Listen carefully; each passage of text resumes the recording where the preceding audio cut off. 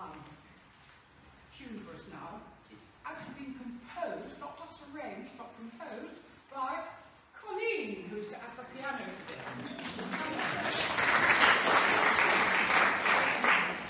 She's something of a composer. And you know, I, I got a bit sick of that old tune from While Shepherds Watch. I'm quite glad to get a new one. I hope you'll feel the same.